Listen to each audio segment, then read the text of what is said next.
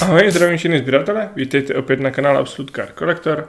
A já Matěj Dubský vás vítám u mého pořadu Show and Tell, kdy si ukazujeme karty, které nám přijdou, buď mě do sbírky, nebo Absolutu na prodej či na přeprodej.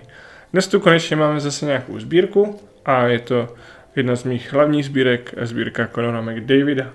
Snažím se povětšinou ty levnější karty a hodně mě lákají paralelky hlavně a inserty nějaká SP a podobně. Nečekejte podpisy McDavida, ale pár zajímavých kousků tam bude, tak se jdem na to mrknout. Mám tady dvě kopičky.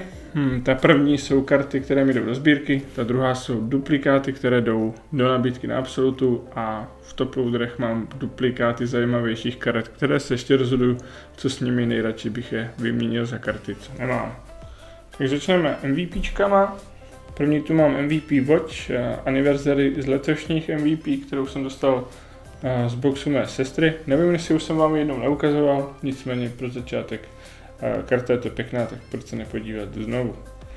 A pak tu mám dvě, které jsem loni nevyzbíral a jsou to uh, Inserty Mirror Mirror, no Double Mirror, to je vlastně tady ta základní varianta, a kde je proti sobě dvakrát stejná fotografie, to se mi netolik líbí, a pak je tady ta paralelní varianta, kdy právě je fotografie z začátku kariéry. Tady to jde poznat i podle barev edmontonského dresu, tak to už je dost lepší. Od Davida Šrámka jsem si potom ze Štemberka dovezl zlatou medaili Conor McDavida. Je to z nových Tim Hortons uh, Kanada. Karty vypadají moc pěkně. David dával myslím na přeprodej potom a Vejna a podobně karty skončily celkem slušně v aukcích. Tak já si to dám tady dolů a budu to dávat postupně. Teď tu mám něco ze series. No. Portrét, který mi chyběl. To jsem pobral vlastně z checkoutu ty levnější karty, dokud byly levnější. 18, 19. A insert under 25. 18, 19 series 1. A tady paralelní varianta Shooting Star Centers v variantě Black. To vypadá parádně naživo. Modrou už mám, to je ta základní, taky 18-19. Tuhle kartu jsem dostal na srazu od Tomáše Šetického do sbírky a je to vlastně Silverfoil paralelka a k řadovce Conora McDavida, kterou můžete získat sbíráním na IPECu. Karta se pohybuje kolem nějakých 5 dolarů stále. Ten záběr mám strašně rád z té nařadové karty. Moc pěkný kousek. Tady potom uh, Retro Tribute z posledních Extended. Z Extended máme dál SPX Finite. Ty jsou limitované do 290, 2999. Karty jsou dost citlivé na ty hrany, ze zadu hlavně. A tady se mi podařilo senat pěkném stavu. A tady insert holo GRFX, moc pěkný insertík, taky z Extended. A poslední karta z Extended a je tahle paráda, je to vlastně Ruby paralelka k insertu Reflections a limitovaná do 500. Tyhle karty, myslím si, že půjdou s cenou ještě nahoru, jsou tím, že jsou limitované a vypadají na živo parádně. Měl jsem možnost vidět fialovou i zelenou, pak je zlatá a do 50 a nevím, jestli ještě jedničková teď.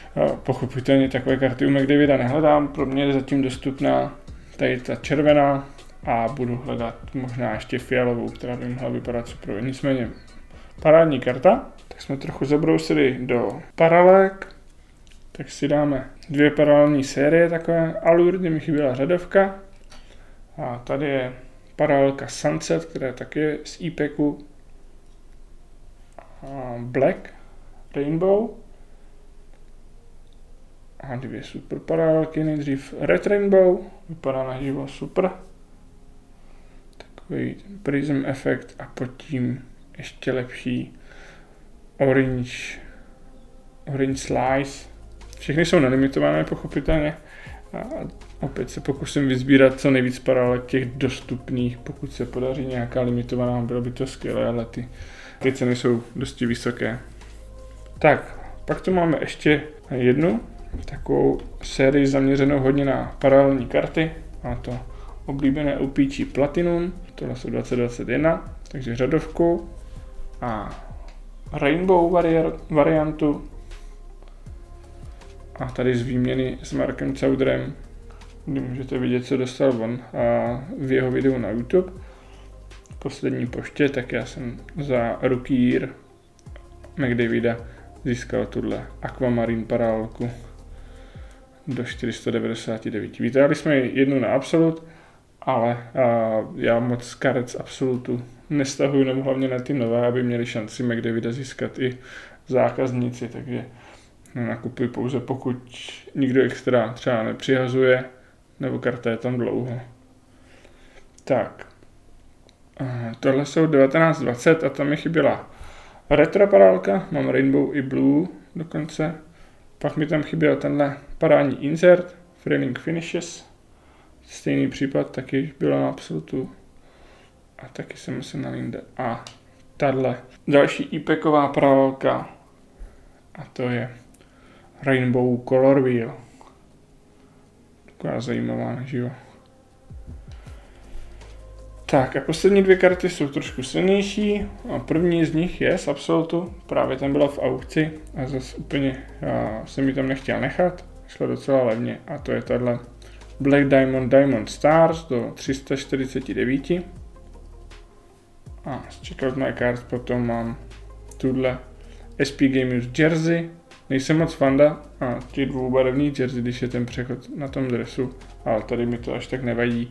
A většina těch karet, co jsem zatím našel, byla taková, nebo bílý, že, bílá vlastně ta jersey, tohle oranžový se mi líbí více.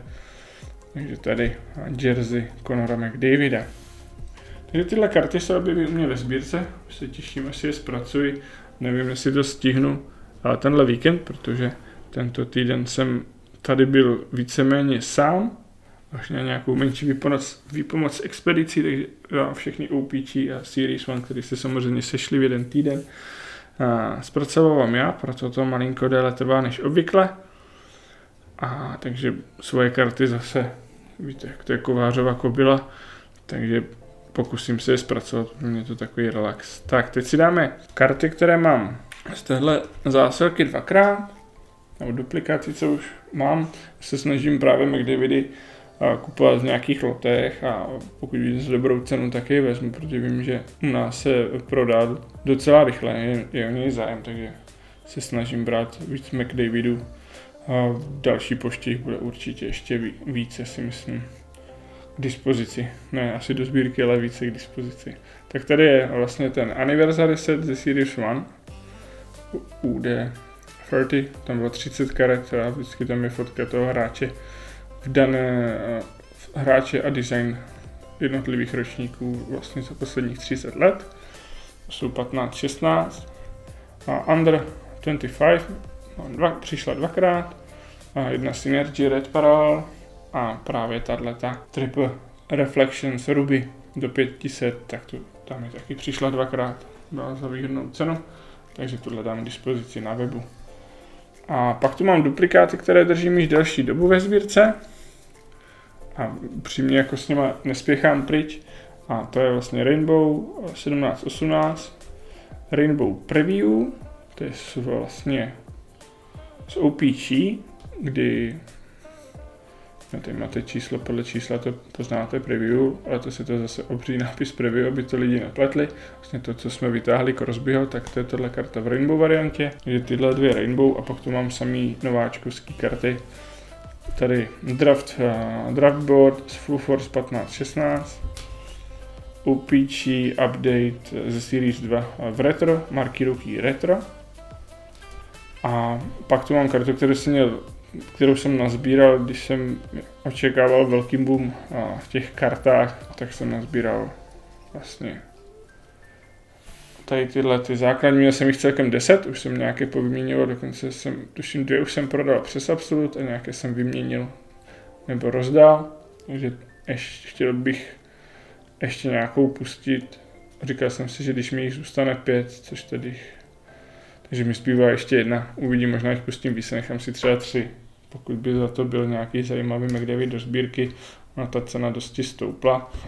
A pak tu mám jednu perličku a to je tahle Rainbow parálka, tu mám dvakrát. Taky jsem pořizoval v době, než ta karta šla ohromně, ohromně s cenou nahoru. Takže tuhle si zatím nechávám na výměnu za něco jiného zajímavého. Opravdu tyhle karty se nestratí.